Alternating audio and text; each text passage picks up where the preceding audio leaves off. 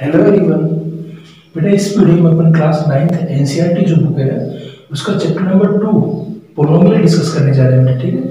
Last video में मैंने आपको इसकी एक्सरसाइज 2.5 का क्वेश्चन नंबर थर्ड का फ़र्स्ट क्वेश्चन मैंने आपको सॉल्व कराया था बेटा। आज अपन क्वेश्चन नंबर थ्री का सेकंड पार्ट डिस्कस करेंगे बेटा। आपको सेकंड पार्ट में दे रखा है फैक्टराइज करना आपको।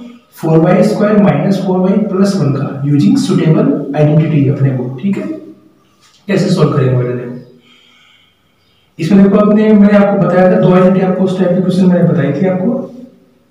एक तो आपको बताई थी मैंने a प्लस बी का whole square equal to a का स्क्वायर प्लस बी का स्क्वायर या फिर अपने पास b के स्क्वायर की टर्म लास्ट में लिख दो टू ए बी प्लस में क्या था आपके पास? बी स्क्वायर एक आइडेंटिटी मैंने आपको बताई थी बेटा, a माइनस बी का whole square equal to a का स्क्वायर माइनस का टू ए बी और प्लस का क्या होता है? B square.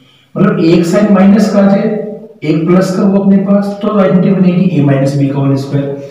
और दोनों साइड अपने पास प्लस की हो। बेटे दोनों साइड किसकी हो? प्लस के। तो आइडेंटिटी किसकी बनेगी आपके पास? ए प्लस बी का होल स्क्वायर। तो देखो, इसके अपने पास यहाँ आपको एक साइन नज़र आ रहा है, माइनस का। एक किसका बताओ प्लस का। तो ये तो कंफर्म हो गया अपने पास क्या आइडेंटिटी है वाली अप्लाई होगी। कैसे अप्लाई होगी? देखो फोर वाई का होल स्क्वायर, इसको अपन ऐसे लिख सकते हैं क्या? टू वाई का होल स्क्वायर। फोर टू का स्क्वायर करो, कितना होगा अपने पास? फोर। और वाई का कहेंगे तो क्या होगा? Y square minus. फिर देखो यहाँ पे क्या बताओ? टू। तो इस टू को पहले आप लिखो, यहाँ पे माइनस का क्या आएगा? टू। फिर ए ए की अपने पास फिक्स होगी कितनी है? To Y. ए की कितनी अपने पास बताओ यहाँ पे टू वाई। ठीक है बेटा? फिर यहाँ पे अपने पास b और b के लिए लास्ट में पास b स्क्वायर आते हैं तो 1 को किसका स्क्वायर लिख सकते हैं अपन? 1 का स्क्वायर लिख सकते हैं। तो b के लिए अपने पास आइडेंटिटी के अकॉर्डिंग क्या होगी बताओ? 1 तो यहाँ पे क्या कर देंगे अपन? 1 दोबारा समझो इस क्वेश्चन को। 4y का होल स्क्वायर इसको अपने क्या लिखा? 2y का whole square minus 2 into 2y into 1 कैसे देखो? आइडेंटिटी में माइनस का साइन है माइनस का साइन लगा दिया। फिर टू है तो टू अपने पास आ गया। फिर a ए अपने पास क्या जो पहले जो वैल्यू अपने पास है, ठीक है ना? इस टर्म से पहले वाली जो अपने पास वैल्यू है किसकी होगी? ए की। तो ए की वैल्यू क्या अपने पास बताओ।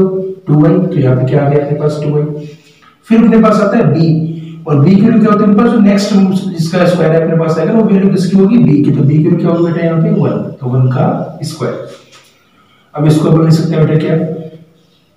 A माइनस बी का होल स्क्वायर तो इसको अपन लिखेंगे a की वैल्यू कितनी बताओ आपके पास? 2y ये ए की वैल्यू होगी अपने पास, और ये वैल्यू किसकी होगी बताओ? बी की।